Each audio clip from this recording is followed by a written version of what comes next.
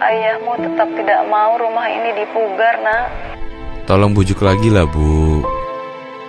Lebaran nanti teman-teman sekolah dulu ingin reuni di rumah ibu. Malu kan kalau rumahnya masih seperti itu. Apalagi saya arsitek. Masa rumah orang tua sendiri malah dibiarkan begitu?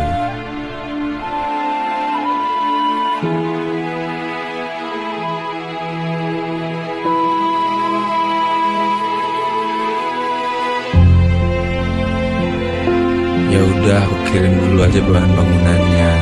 Siapa tuh Bapak Lulu? Pak Tatat ya? Iya. Ini Pak ada kiriman dari Pak Haikal.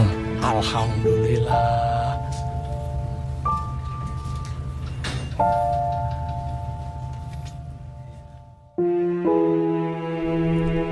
Langsung kirim saja ke masjid yang sedang direnovasi di sana. Terima kasih Pak ya.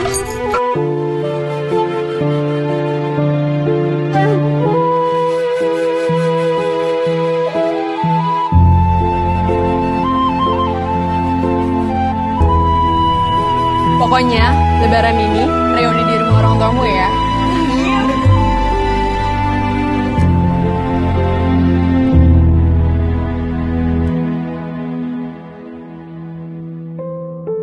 Bagaimanapun keadaan rumah ini, inilah asal-usulmu. Kesederhanaannya akan selalu mengingatkanmu untuk tetap rendah hati. Jangan lupa, dulu kau bukan apa-apa sebelum menjadi seperti sekarang.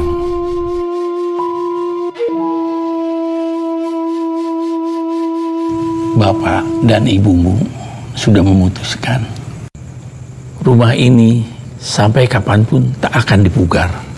Inilah kebanggaan kami bisa membesarkan anak sehebat kamu.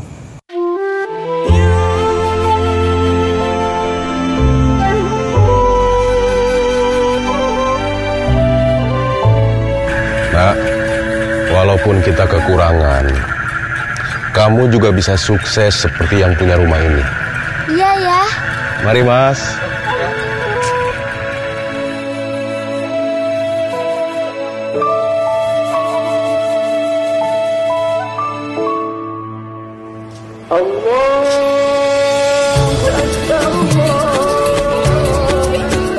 Ya, masih berilah rumah Haikal.